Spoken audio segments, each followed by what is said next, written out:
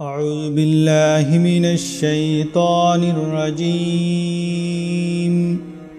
بسم الله الرحمن الرحيم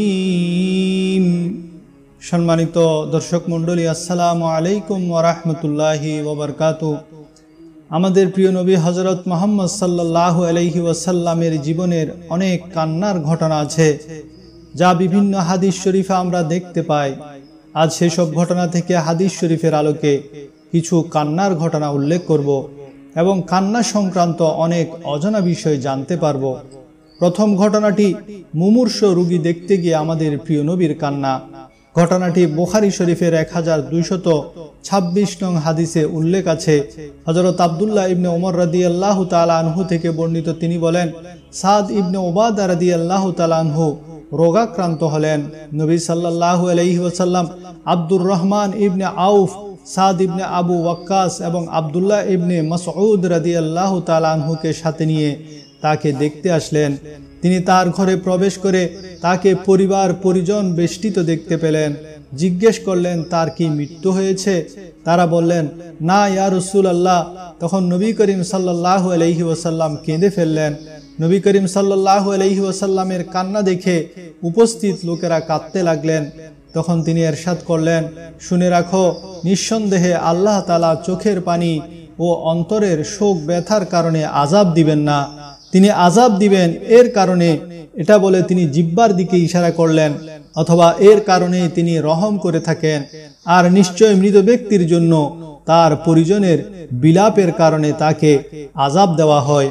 হজরত ওমর রাদি আল্লাহ তালানহু এই ধরনের বিলাপের কান্নার কারণে লাঠি দ্বারা প্রহার করতেন, কঙ্কর নিক্ষেপ করতেন বা মাটি ছুঁড়ে মারতেন। এবার আসুন মহানবী সাল্লাহ আলহি ওসাল্লামের নামাজরত অবস্থায় কান্নার ঘটনা শুনি। দ্বিতীয় ঘটনা, আবু দাউদ শরীফের এক হাজার একশত ছিয়ানব্বই নম্বর হাদিস। আবদুল্লাহ ইবনে আমর রাদি আল্লাহ আনহু কর্তৃক বর্ণিত, একদিন সূর্য গ্রহণ লাগলে মহানবী সাল্লাহ আলহি ওসাল্লাম নামাজ পড়তে দাঁড়িয়ে গেলেন।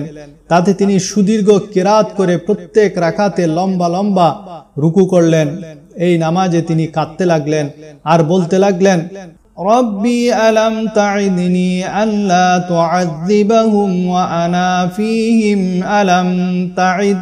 আল্লাহ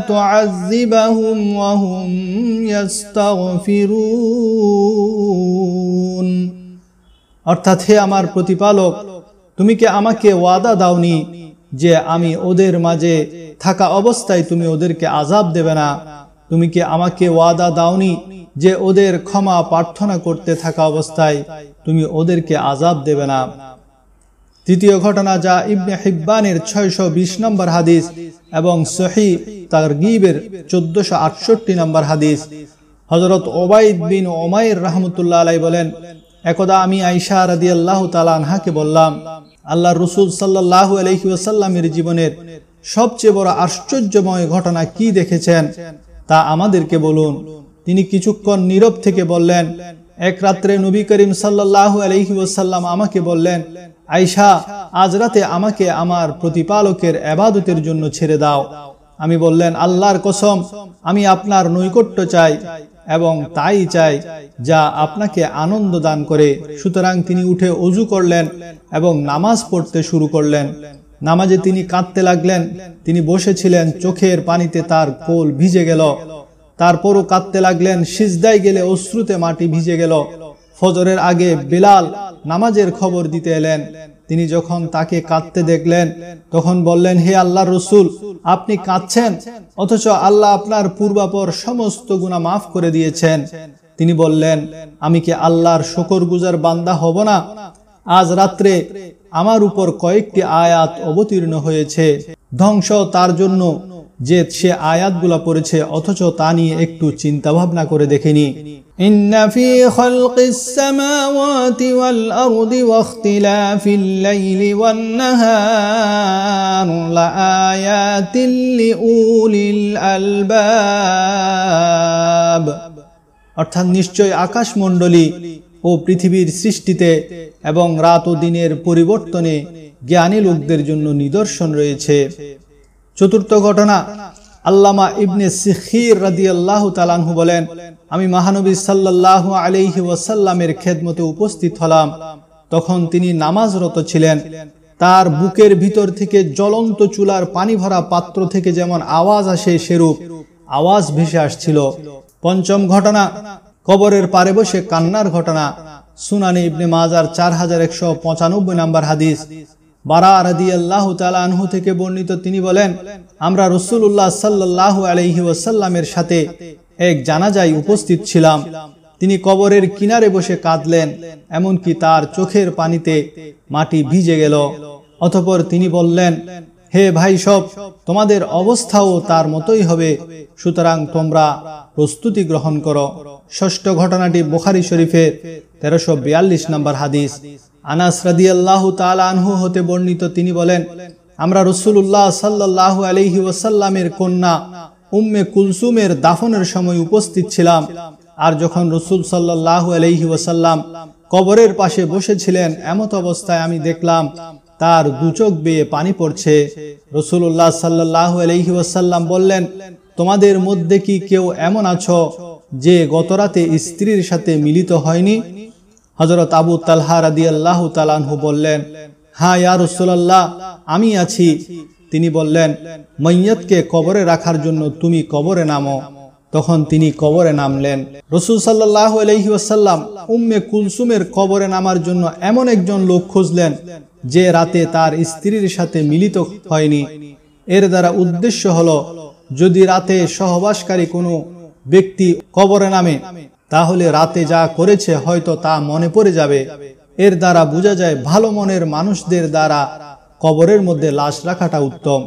সপ্তম ঘটনা হলো মৃত ব্যক্তির জন্য কান্নার ঘটনা। এটি আবু দাউদ শরীফের তিন হাজার একশো পঁয়ষট্টি, তিরমিজি শরীফের নয়শত উনানব্বই সহিবনে মাজার এক হাজার চারশত ছাপ্পান্ন নম্বর হাদিস। আয়সা সিদ্দিকা রাদি আল্লাহ আনহা বলেন, ওসমান বিন মাজউন রদি আল্লাহ তালানহু যখন ইন্তেকাল করলেন, নবী করিম সাল্লাহ আলহিউসাল্লাম তাকে দেখতে গেলেন। তিনি তার চেহারার কাপড় খুলে ঝুঁকে তাকে চুম্বন করলেন অথপর তিনি এমন কাঁদলেন যাতে দেখলাম তার চোখের পানি তার গাল বেয়ে গড়িয়ে যাচ্ছে। ইমাম নবী রহমতুল্লাহ আলাই ওলামাই কালামের মতামত উল্লেখ করে বলেন, মৃত ব্যক্তিকে যে কান্নার কারণে শাস্তি দেওয়া হয় তা হলো বিলাপ সহ উচ্চস্বরে কান্না। কেউ যদি শুধু চোখের পানি ছেড়ে বিনা আওয়াজে কাঁদে, তাহলে মৃত ব্যক্তিকে শাস্তি দেওয়া হয় না। কারও মৃত্যুতে বিলাপ ছাড়া কান্না করা জায়েজ আছে। অষ্টম ঘটনা হলো কোরআন তেলাওয়াত শুনে কান্নার ঘটনা। মহানবী সাল্লাহ আলহি ওসাল্লাম একবার আবদুল্লাহ ইবনে মাসউদ রাদি আল্লাহ তালানহুকে বলেন, হে আবদুল্লাহ, তুমি আমাকে কোরআন তেলাওয়াত করে শোনাও। আবদুল্লাহ বলেন, হে আল্লাহ রসুল, আপনার প্রতি কোরআন অবতীর্ণ হয়েছে, আর আমি আপনাকে কোরআন পড়ে শোনাবো? মহানবী সাল্লাহ আলহি আসাল্লাম বলেন, আমার মন চাই অন্যের মুখে কোরআন তেলাওয়াত শুনি। আবদুল্লাহ ইবনে মাসউদ রাদি আল্লাহ তালানহু